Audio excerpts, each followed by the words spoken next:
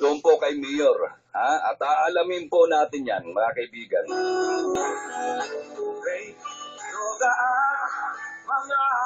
Baka mamaya mapadaan tayo doon sa kalsadang yun. Bigla na lang na ah, bigla na lang nabali at doon tayo bumagsak sa ilalim.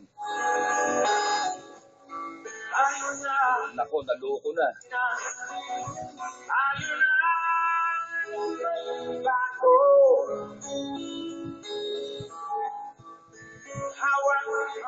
Pwede bang bumati kayong dalawa? Pwede naman eh. Hmm.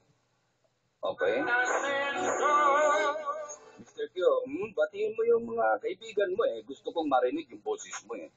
By the way, uh, pare Jun, uh, apelyido ko is pronounced as Ke.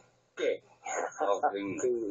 Hmm, ang hirap kasi ng apelyido mo. Tatlong numero, nam, ah, Letra, isang syllable. tatlong letra lang. O isang syllable. Hmm, Parang Quezon Sala sa parang Quezon. Parang, Quezon. Oh, okay. Ah, gusto kong batiin mga kababayan ko sa Bigan. Dahil ako po ay taga Bigan. Hmm. Ah, pasalamat ako dahil um, tin- tinawag mo ako dito sa loob, Mm. uh, para na Mm. makinig and to watch you while uh, you're doing your uh, job as uh, the uh, broadcaster. Hmm. Eh, talaga bilib ako sa'yo. Hindi, mas bilib ako doon sa mga nakikinig. ha? Mas bilib ako sa mga nanonood at nakikinig. Kasi alam mo ba, ang mga nakikinig at nanonood, mas matalino yon doon sa mga sa mismong uh, pinanonood. Hindi, pero kung hindi maganda yung nagsasalita, kagaya mo, nobody will listen.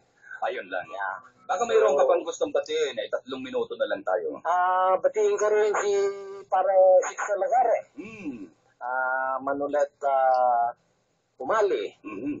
saka si Dr. Renera Umali. Mhm. Ah, good afternoon sa inyong lahat mga pare-pare. Okay. Magandang hapon po sa inyo at uh, kay Madam. Mhm.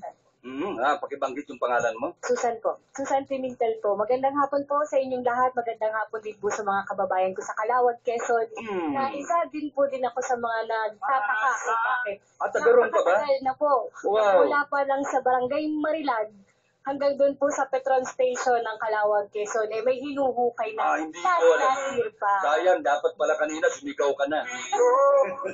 Magandang hindi? hapon po sa inyong lahat. Alright, mga kaibigan, at uh, siguro sa susunod na lang po, ano ko, inabot na po tayo ng oras ng pamamaalam. Sa inyo pong nakasama sa inyo pong pananghalian ng programa po na at banat at Balita sa ganap ng alas 12 hanggang uh, alauna po yan ng hapon. At ako po si Timbor Nazal.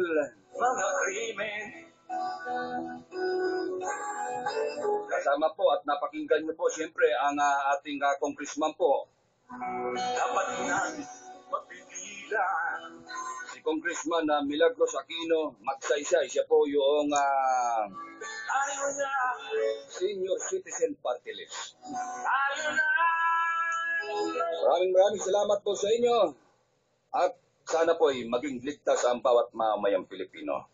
para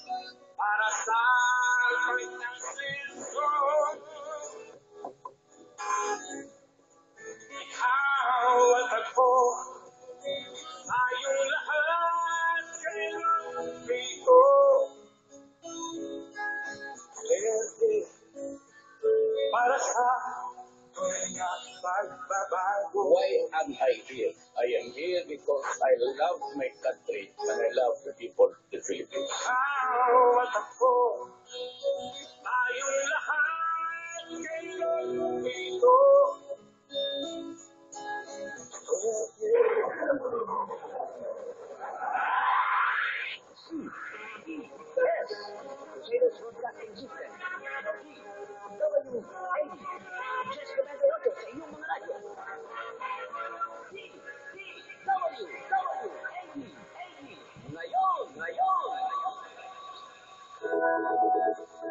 wanahangaika pag-OPB na mga naganap na usapan Ito ang DWAE Power